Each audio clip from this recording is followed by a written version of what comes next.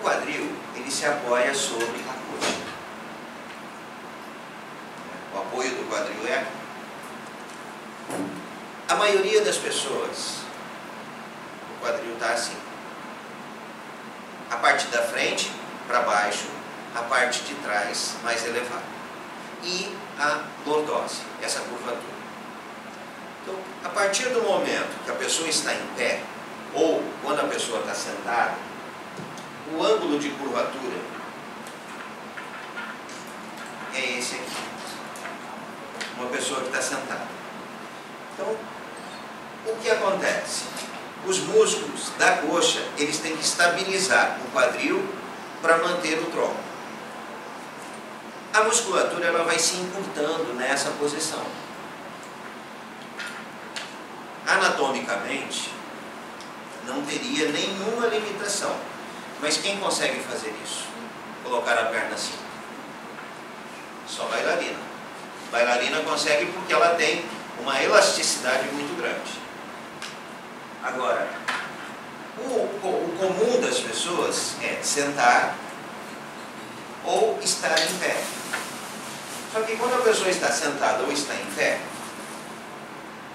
que o quadril está apoiando, está sendo apoiado pela coxa, o quadril ele geralmente vai fazendo esse movimento, ele vai inclinando para frente. Essa musculatura que sustenta aqui, aqui e a lateral do quadril vai ficando curta, o quadril vai tendo essa inclinação. E quando o quadril está apoiado sobre a coxa, ele faz essa inclinação, ele vai pressionar a coluna lombar de baixo para cima. Então ele vai causar pressão aqui, aonde saem as raízes neurais.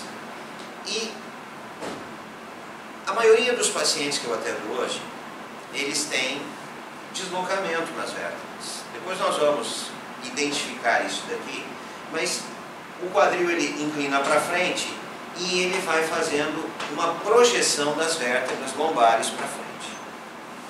Então as vértebras vão escorregando. Dentro da coluna existe a medula. A medula que é essa parte amarela aqui. E dali saem raízes neurais.